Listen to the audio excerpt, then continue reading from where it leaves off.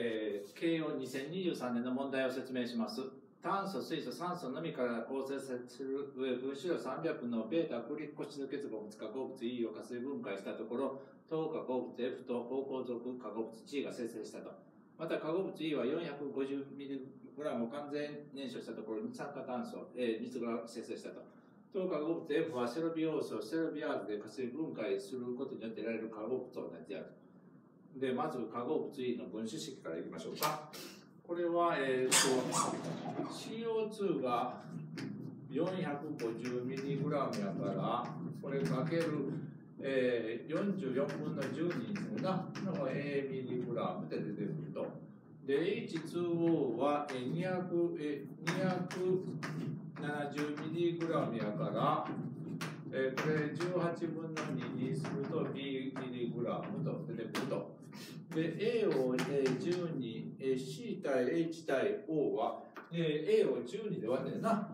で、A を、え、C 対、え、H 対 O は、え、C を12で割ります。えーえー、に A を12で割って、ええー、1、これは、え、B そのままやな。B。で、え、対、で、O、O はこの全体の何ミリグラムって書いてないので、まあ、これ出して、えー、やっていくとね、えー、A 対 B はね、これはいくらになるかというと、計算すると、で、な7対、7対10で出るかな。だから、えー、これ計算していくとね、えー、C は14、H は20、O 7。分子量を計算するとこうなるんですよね。こうなる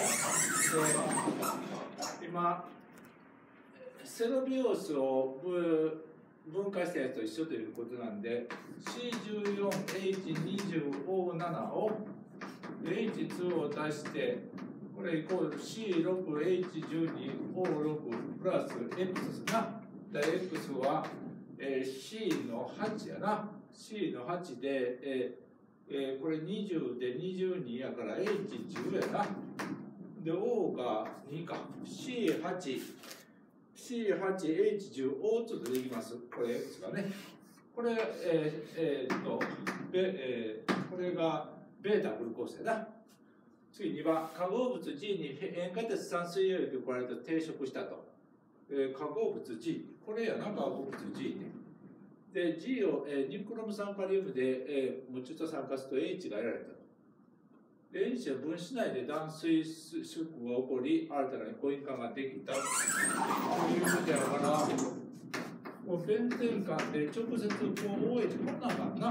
こんなんがあって、これは、えー、脱水出庫をするということで、オルトインっていうとね、これは C6H4 の OH やから、この C8H10O2 から、C6H5O を引いてあげます。C2H5O やな。こんな形やな。CCO。こんな形で取るわ。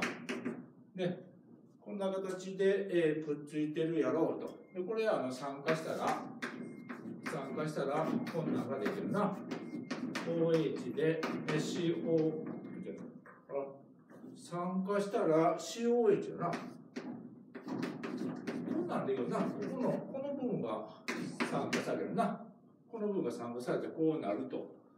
で、えー、誤塩管が生じたと。で、G の構造式は、えー、どうかということやから、G は、ここっちか。で、酸化して、えー、酸化したらこれになると。で、これが脱水縮合したら、これ、これな、O の、で、こっち C の、O の、こんなん、え ?CO の、あ、じゃじゃこうやな、C、C やな。こ母音感こんなんできるかな。ここは、これ COO じゃなくて、こう C の COO こんなんできるね。こんなんできないとなんかおかしいですね。で、えー、脱水すると。これが H よね。これちょっと違うみたいね。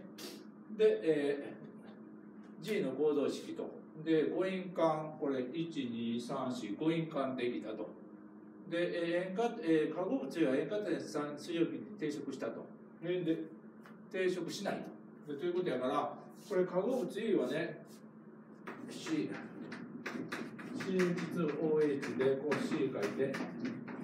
こう C 書いてね。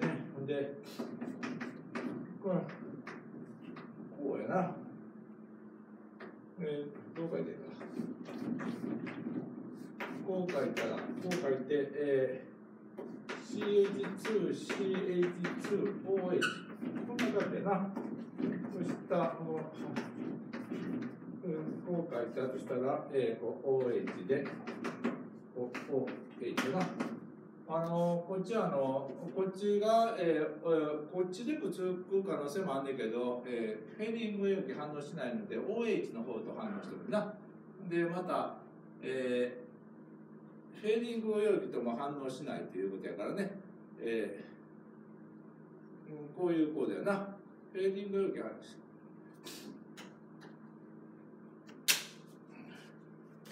はい以上です。